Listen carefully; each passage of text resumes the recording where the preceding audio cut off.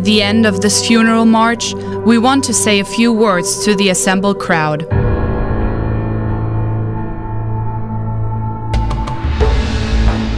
Words regarding the endangerment of our civil rights through the security policy of the last decade.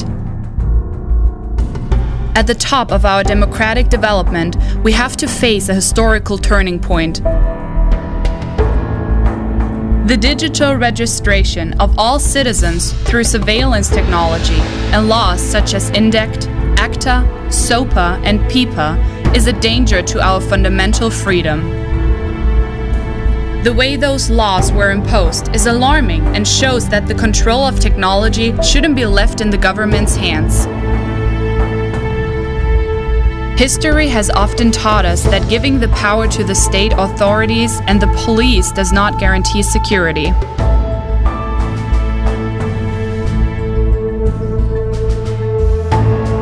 We have witnessed how our freedom was abused and traded for security.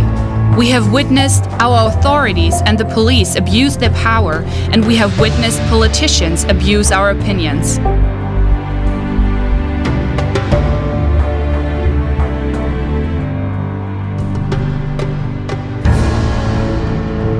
But we will no longer accept politics that justify laws by stoking fear and creating enemies instead of breaking up stereotypes. When injustice becomes law, resistance becomes duty.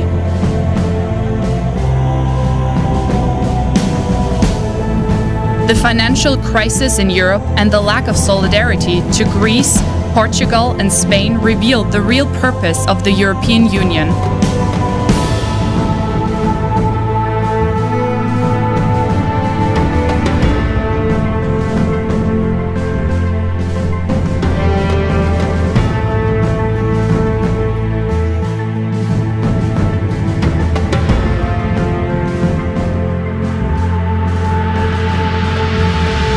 The fueling of national and racist tendencies show that even Europe is a potential threat to our democratic values.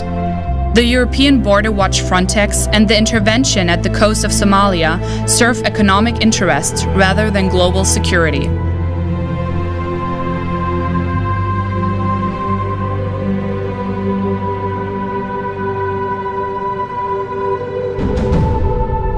A free government shouldn't have to hide behind the police.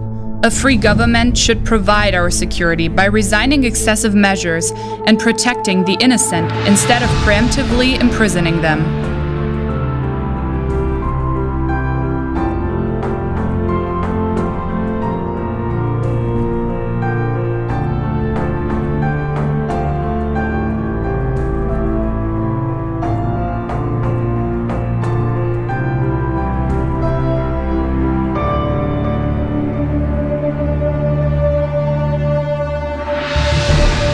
What about the security in totalitarian countries where the police has more rights?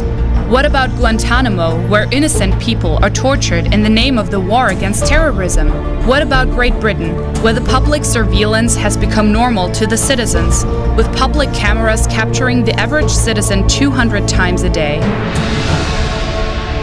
We need to defend our values. We need to defend the freedom generations before us fought for. We need to liberate ourselves from our self imposed immaturity. Every time has its challenges. Every time has its oppressors, but every time has its revolution.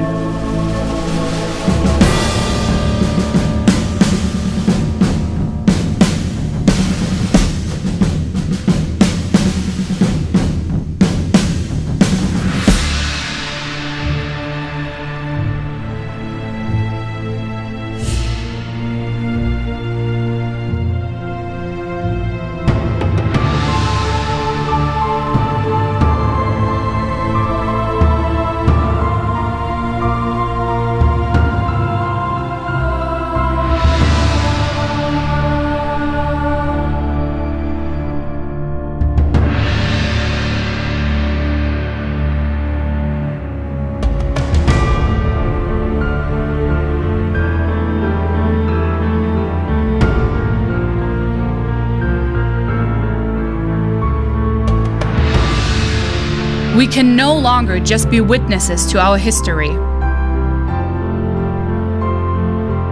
Let us stand together for a world where science enriches the people's lives instead of restricting their freedom.